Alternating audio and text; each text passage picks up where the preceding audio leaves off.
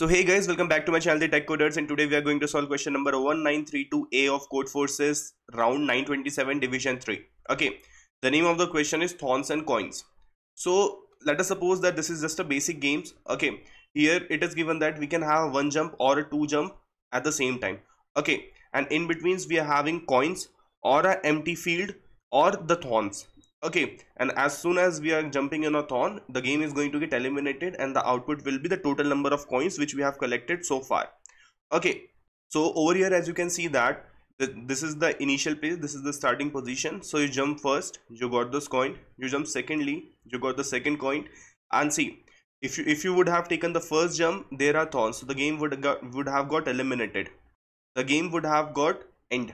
Okay so instead of taking one jump you took two jumps okay and then from here you jump directly to here and you collected this coin also. Now the number of coins which you are having is three. So now see over here. If you would have taken directly two jumps you are landing in a thorn. If you would have taken one jump and then again two jumps you are you are directly jumping on a thorn. Okay eventually your game is going to get over. Okay and at the end of the day how much coins you are having? One two and three. Okay so let's go and understand this with the help of an example. Okay so these are the two examples which we are going to consider over here. Okay. So let us suppose that initially you are over here. Okay. This is the empty field. So you had taken one jump and you collected this coin. Okay. Plus one. Then you took one jump and you collected plus one. Okay. Then if you take one jump or if you take two jumps no issues. Okay. Eventually you are going to take this coin. Plus one jump. Now see. If if you will take one jump from here your game is going to get end and if you will take two jumps from here your game is going to get end. So it's of no use to consider further things. Okay what will be my answer? My answer is going to be 3 simple. And for here you can see that till here it is the same. Till here it is the same. I'm just having this for the sake of understanding. Okay i know the answer over here. My answer is 3 for this case. Okay but now see beyond this point beyond this point you are having further more coins. But what is given in the question? When you are landing on a thorn your game is going to get eliminated. Okay your game is going to get end. So i want the number of coins i collected till here.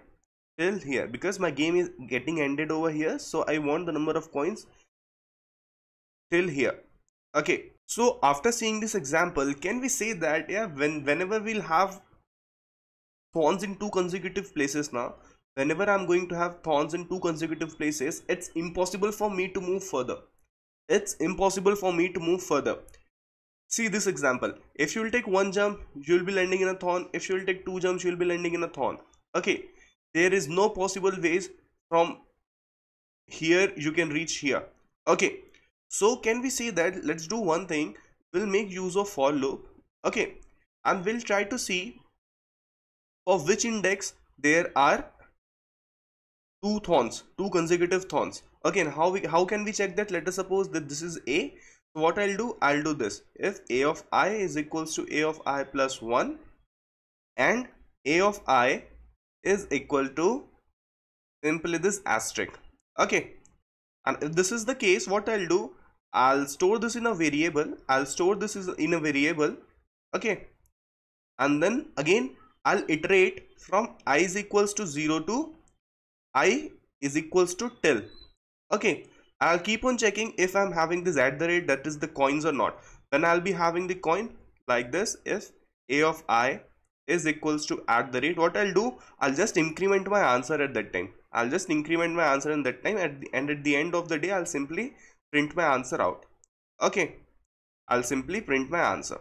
Okay so this is my approach and now let's see the code okay. So see initially we are having the length of the string so i take an n as an input. Then there is a string s i took its input.